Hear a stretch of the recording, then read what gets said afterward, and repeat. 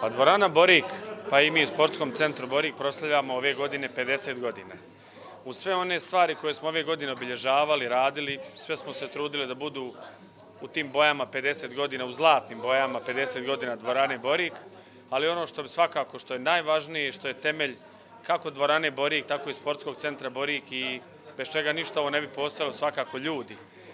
Ono što mi nismo zaboravili, ono što smo želi da damo na poštovanju i omaž, a to je tim ljudima koji su stvarali, radili, vodili ove dvorane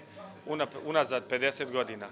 Iako su to mladići koji sada izgledaju i djevojke da imaju 50 godina, ali vjerujte da su oni u nekim ranim dobima uspješno vodili i kako ovu dvoranu Borik, tako i mnoge druge naše objekte, uspješno ovdje davali sve moguće usluge našim sportistima i mi smo željeli da ova godina ne prođe, da se ne sjetimo i njih kao najvažnijih resursa sportskog centra Borik razmišljajući o našim e, ljudima, o našim penzionerima, ono što nam je najmanje što možemo, a to je da ih pozovemo da jedno veče provedemo zajedno, uz jednu muziku, uz druženje, da se i oni vide, vjerujem da i dosta njih se nije vidjelo u proteklom periodu, da pozovemo jedan broj naših radnika i da zajedno uručimo jedne skromne poklone i zahvalnice tim ljudima i da se zahvalimo za sve ono što su oni u protekli 50 godina dali od sebe, a da ovi objekti naši izgledaju ovako kako izgledaju. A vjerujem da i svi sportisti i sportski radnici, klubovi i dobre rezultati koji su bili ovde ne bi sigurno mogli da budu bez njihovog rada i njihove podrške. 50 godina se navršava javno sportske ustanove Sportski centar Borik. Ja sam radio u sportskoj dvorani Obilića, gdje sam bio jedan od rukovodlaca gore i tu sam radio 22 godine. Ja sam izbjegao, odnosno razmijenjen iz Sarajeva i došao u Banja Luku, gdje sam odmah dobio radno mjesto i zahvaljujući upravo ovako pojedinim direktorima kao što je gospodin Talić, evo mi slavimo i 50 godina tog lijepog doživljaja. Mogu da kažem da smo u, u javnoj sportskoj ustanovi Centar Borik, ne samo da smo mi kao radnici zaslužni, nego su zaslužni svi oni od E, onoga koji održava čistoću pa do generalnog direktora, kao što to i osjećam da je i danas, mi na jedan način smo stvorili jedan e, centar, jedan kult jedne Banja Luke, odnosno Republike Srpske. Davne 87. godine ja sam došao u dvoranu za direktora. Tad je komitet raspoređivo, vi to dobro znate, a koji su stariji, ovi mlađi to i ne znaju kako je to bilo. Kadrovska komisija je radila preko partije mene su doveli ovde, ja sam došao iz gostestva u i došao sam za direktora dvorane tada. Ovo je bila radna organizacija tada.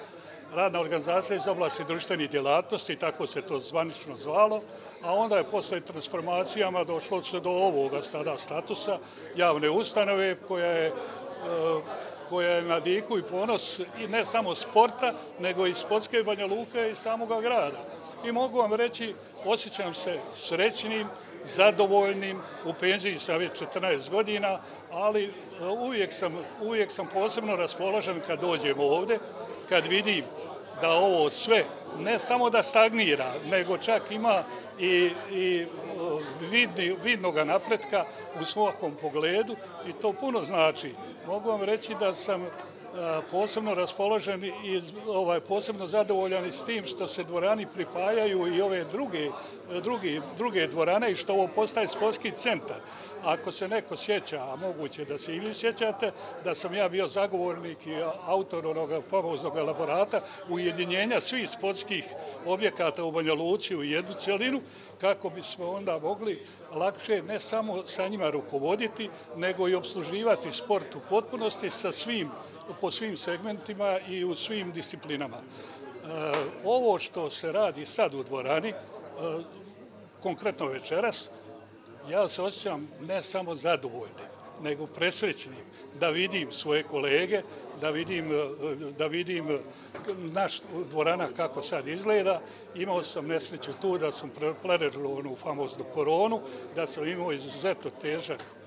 životni period. Dve godine sam malte ne bio u krevetu, vezan za krevet, e, da ne pričam koliko sam bio samo u komi, ali sad kad mogu i na nogama da dođem ovdje i kad vidim ove svoje e, ljude s kojim sam živio i radio, mogu vam reći da sam presrećan, presrećan. Hvala svakome ko je i organizator i inicijator ovakvog druženja, a mogu vam reći da ovo je jedan vidi tradicije Da li će ovo ostati ovako ili neće, ne znam, ali u svakom slučaju ja ću večeras pokušati sa menadžmentom razgovarati, da čak formiramo i nekakav, nekakav aktiv nas penzionera, pa da i mi pomognemo i u radu, a istovremeno i u ovakvim organizacijama.